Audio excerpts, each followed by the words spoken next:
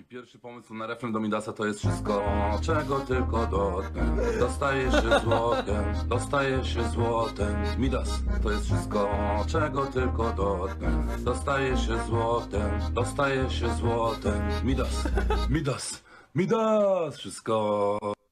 I pierwszy pomysł na refren.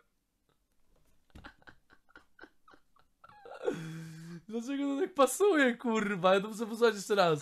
I pierwszy pomysł na refren do Midasa to jest wszystko, czego tylko dotknę. Dostaje się złotem, dostaje się złotem. Midas to jest wszystko, czego tylko dotknę. Dostaje się złotem, dostaje się złotem. Midas, Midas, Midas, wszystko. Ej, ale szczerze, nie jestem sobie w stanie wyobrazić, jaki beat może być pod tą I pierwszy piosenkę. pomysł na refren do Midasa to Nie, nie jest... jestem w stanie sobie wyobrazić, jaki tam ma być beat do tego refrenu. Nie, nie mogę sobie wyobrazić, kurwa.